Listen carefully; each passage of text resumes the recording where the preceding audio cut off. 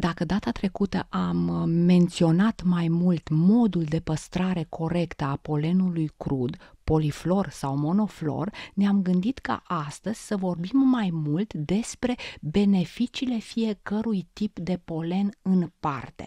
Așa cum spuneam, există polen monoflor. Există polen monoflor de măr, de prun, de păducel, de castan, de trandafir sălbatic. Haideți să le luăm pe rând și să vedem fiecare la ce este recomandat. De exemplu, polenul crud de trandafir sălbatic mai este numit și îngerul păzitor al colonului colonului, pentru că ajută foarte mult la prevenirea inflamațiilor colonului și aduce un plus de energie organismului, favorizează absorpția de calciu și ajută în general la reglarea întregului tranzit intestinal, mai ales are un efect extraordinar de benefic asupra colonului. Polenul crud de prun este firesc foarte bun pentru echilibru digestiv. Cu toții știm că atunci când suntem constipați, de exemplu, luăm un compot de uh, prune sau uh, ne răsfățăm cu niște prune uscate. Uh, prunele sunt extraordinare pentru sănătatea noastră, iar polenul crud de prun are darul de a acționa și asupra ficatului și asupra bilei și în plus normalizează și apetitul alimentar. Tocmai de aceea atunci când vrem să facem o cură de slăbire, avem un ajutor foarte dulce, prunele, pentru că există chiar și o cură de slăbire cu prune uscate care se macină și uh, se mănâncă împreună cu un piure de măr. În acest fel avem și fibrele pe care ni le dă mărul și acea poftă de dulce ne este satisfăcută cu ajutorul prunelor uscate mărunțite, pentru că prunele au darul de a regla apetitul alimentar. Tot așa, dacă vrem să facem o cură de slăbire sănătoase, putem să ne facem o salată de fructe pe care să presărăm puțin polen de prun, pentru că acesta este dulce, este bun, este plăcut, ne satisface pofta de dulce, iar fructele ne uh, ajută organismul cu atât de importantele fibre. Trebuie să mai spunem că acest polen crește rezistența la efort și mai mult ne îmbunătățește și memoria și capacitatea de concentrare. Mai este recomandat pentru sănătatea noastră și polenul crud de iarbă neagră. Acesta este excelent pentru rinichi, pentru că detoxifiază rinichii și întregul organism. Este foarte bun pentru a susține sistemul nostru osos în plus și ajută chiar și la tratarea hemoroizilor și avaricelor. Polenul crud de păducel este foarte bun pentru inimă și pentru tot aparatul cardiovascular.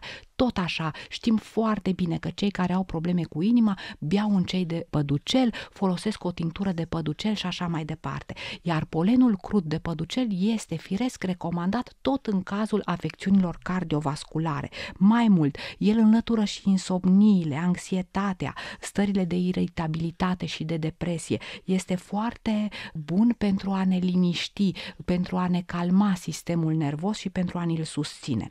Mai există polen crud de castan dulce și de mur. Castanul crește în aceleași zone în care crește și murul. De fapt, murul crește în apropierea castanilor și atunci albinele strâng și polen de mur și polen de castan. Așadar, acesta este un polen combinat și este extraordinar pentru circulație. Știm, de exemplu, că atunci când ne dor picioarele și avem senzația de picioare grele și mergem la farmacie, farmacistul ne recomandă un gel pe bază de castan, cu extract de castan, dar organismul trebuie să ne-l susținem și din interior și venele trebuie să ne le susținem și cu ajutorul alimentației, iar polenul de castan și de mur ne ajută tocmai ca să ne susținem circulația venoasă și este chiar numit un înger păzitor al circulației, polenul de castan dulce și de mur. Mai trebuie să spunem ceva, este cel mai dulce polen și tocmai de aceea este preferat de copii și este extraordinar în privința gustului.